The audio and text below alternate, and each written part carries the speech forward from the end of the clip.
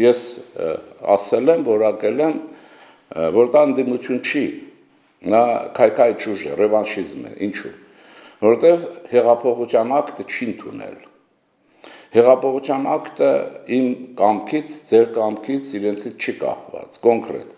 18 թվականի մայիսի 2-ին հայություն ամբողջ երկիր մոլորակով ընդվզել հիշում եք։ Եղել է թե չէ։ Եվ ասել է վերջ, այն հիմա նոր տերմին են օգտագործում, թութակի նման։ Հիմա թութակների համը կարմիր գիծը հաջորդ հետ օրը գծել է։ Հասկանում եք ոնց է։ Կայֆով կրկնում են, օտալ ասում է, դրատակ է կարմիր գիծը գծել, հետո հեղափոխություն եղել է։ Հիմա լավ է եղել, վատ է եղել, հեղափոխությունը նպատակին հասել է չհասել, այլ հարց է, արժևորման հարց է, նպատակների իրականացման հարց է։ Ուրեմն սրանք, քանի որ այն գլխից չեն ընդունել, իրենք քաղաքական դիրքը իրենց վերականգնելու հետևական քաղաքականություն են վարել։ Եթե գիտեք, դա կլներ ազնիվ մի բան, բնականաբար, եթե իրենք 30 տարում գողապետություն ստեղծած չլինեն, լութոգրատ իշխանություն, այսինքն երկրի ավեր, գողոպու, թալան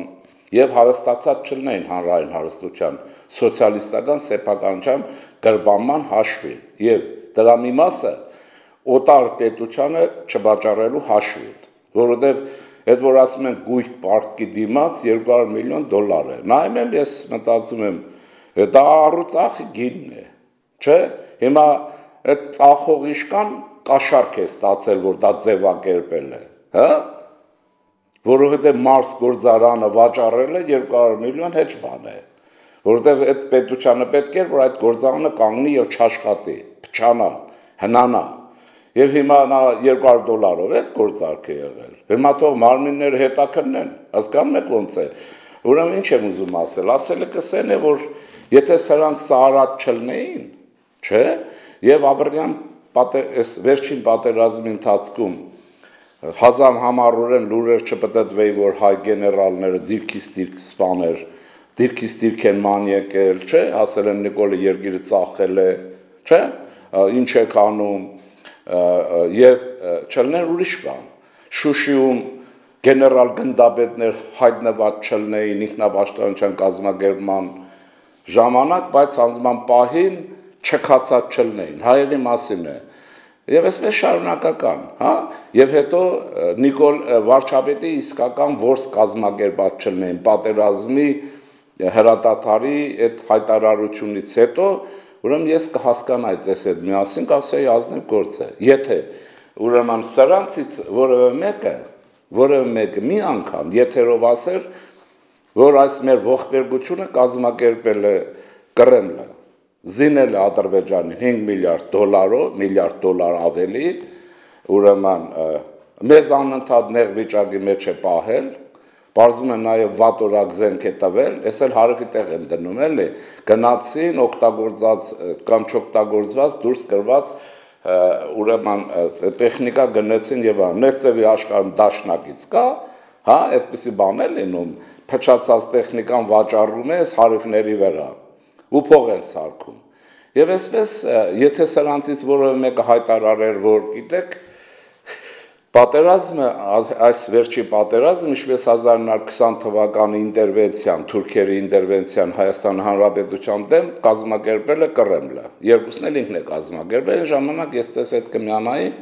կանվանայի, ուրեմն, հա, ընդդիմություն։ Հետևաբար ռևանշիստներ են։ Ռևանշիստները, որ ունեն նաև տնտեսական բաղադրիչ։ Ես ինչքան գիտեմ, ըստ հաղորդագրությունները սկսել են մաշկեր, ունեցված կետ են տանում այդ տանում են, չէ, ահա հիմա պետք է տան, այստեղ է։ Դրա համար ամեն ինչ օգտագործում են գուցե եւ ես ենթադրում եմ նաեւ քանի որ Ռուսաստանը հետեւողականորեն քայքայ աշխատանք է տանում Հայաստան Հանրապետության եւ նրա օրինական իշխանության դեմ ճնշումներ մենք տեսնում ենք, չէ, օգտագործելով նաեւ փալասին Կրեմլի հայ ուրեմն ցակումով հայ, բայց ինքնությունը վաղից կորցրած մարդկանց խմբի որոնց անունները հրաշալի գիտեք, որոնք կայֆով, ինչպես հայ բոլշևիկները Հայաստանի պետության դեմ են արշավում։ Իշխանությունը մեծ սխալ է թույլ տվել, որտեղ վաղուց պետք է դատական գոնե գործընթացներ վերջացած դնեին։ Հնարեցին պատմության մեջ եղած մի абսուրդ թեզիս, որ դատարաններն անգախ են։ Դատարաններ պետությունից եւ իշխանությունից անկախ չեն կարող լինել, բացառված է։ Հեղափոխությունը պատվիրակել է նոր իշխանությանը գար երկրում կարգ ու կանոն հաստատել եւ պատժել գողացողներին։ Ճիշտ է թե չէ։ Այդպեսի հետեւաբար ուրեմն նոր իշխանությունը պարտավոր է դատարաններին ուղղորդել պատժին, օրենքի մասն է խոսքը, ուղղորդել է, ասում է, չէ, բանը, դատարաններն անկախ են, ումից են անկախ։ Բայց իհարկե դրանք գողապետությունից անկախ չեն, եթե այդպես անկախել են, նրանք բաղադրիչն են։ Եվ այսպես առաջացավ եւ իրենք այս թրփոշացած կներեք բառի համար վիճակը ուրեմն իշխանության թուլության ինչ-ինչ հաշիվների հետ կապ ունեն, թողնա վարչապետի հետ խոսեն։ Պահանջեն խորհրդարանական փակ ուրեմն լսումներ։ Այդ խորհրդարանը գործառույթ ունի, խորհրդարանական հանրապետության մեջ ուրեմն հանձնաժողովներ բացառիկ դեր ունեն։ Խորհրդարանական հանրապետության մեջ վարչապետին չի կարող խորհրդարան ենթարկվել, այլ ամբողջ իշխանությունը պիտի ենթարկվի խորհրդարանին, սա նախագահական համակարգ չի։ Անում են դա։ Եվ հետո հայ մարդիկ են ենթադրենք։ Ես ամենը ենթադրենք չկա, ինստիտուտներ չգիտենք, պետության մասին պատկերացումներ չունենք, ամեն ինչ կնում ենք կողքի։ Մեր երկիրը, մեր պետականություն վտանգի տակ է։ Նաև մեր ժողովրդի ֆիզիկական գոյությունը, որտեղ 30000-ի վրա չի կարող հայություն առանց անկախ պետականության ապրել։ Դա բացառված է։ Հիմա ում է դուր գալիս, չի գալիս, ում դուր չի գալիս, չքվի այստեղից գնա։ Հասկանում եք ոնց է։ Հիմա դրա համար Հոկանչեն իրեն ասեն, լավ, վիճ ունենք, սեփականություն եք կողոպտել, երեխա եք վաճառել, թե չեք արել, այս բոլորը ձեզ նվեր նարկոտիկներով զբաղվել եք, չէ։ Ինչ է կատարում մեր երկրի հետ։ Թող գնա է։ Ինչ ցույց։ Հիմա ինչի եմ ասում, ոչ թե ես ցույցերին եմ դեմ, բնականաբար չեմ կարող ցույցերին դեմ լինել, որովհետև քաղաքականությունը իրականացվում է նաև սահմանադրորեն թույլատրելի բողոքի ակցիաներ տարբեր ձևերով, գործատուլներ, ցույցեր, ընդվզումներ եւ այլն եւ այլն։ Բայց եթե հարցը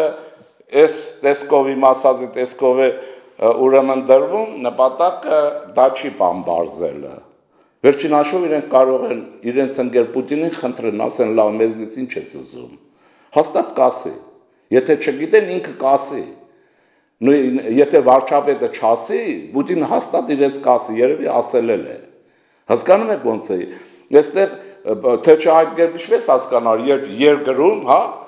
անկախ պետության մեջ նախքին պետության գաղտնի գործակալական ցանցի պահեստազորը հանդիպում է ունենում Հայաստանի անկախության, հա, եւ Աստվածաշնչի վրա երթում տված քաղաքացու հետ։ Абսուրդ է, դուք լսած կլինեք այսպեսի բան հա? Հավաքվեն գաղտնից առաջան նախկին աշխատակիցներ ուրիշ երկրներում այս ցանցերը վաղուց մաքրել են. Չեխերը, մերձբալտիկան, վրացիները կամ նեղել են հիմա այս բոլորի մեջ թող գնան խնդրեն ասեն եղբայր ասեն ինչ է կատարում ինչ է պատրաստվել անձնելու կամ ոչ այլապես ես եզրակացնում եմ հետեւյալը որ Սրանց նպատակը պետությունը մշտապես պատերազմից հետո հատկապես լարման մեջ պահել է։ Այսինքն իմ բանաձևը հետևյալն է. Հայաստանի Հանրապետությունում չթողել կայուն վիճակ եւ կայունությունը դիտել անկայունությունը։ Անկայունությունը դառնում է մշտական կայուն կարգավիճակ։ Մինչև հայերը հոգնեն այս երկրից գնան